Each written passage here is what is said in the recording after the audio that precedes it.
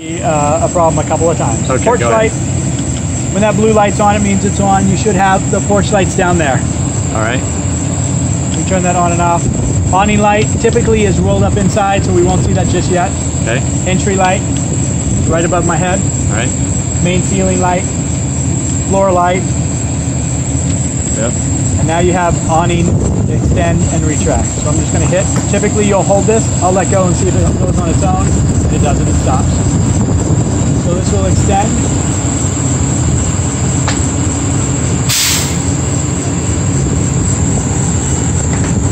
Once it's there, I will turn on the awning light. You'll see that.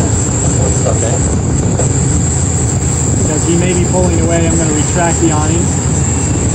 So as you mentioned, uh, if you're not going to be at the rig, it's best to have this put away. Because wind does come up, and this is a boat sail, which means it's going to capture that. And in theory, it could rip it off the rig. It's not likely, but it could. And uh, if it does get windy, just put it away.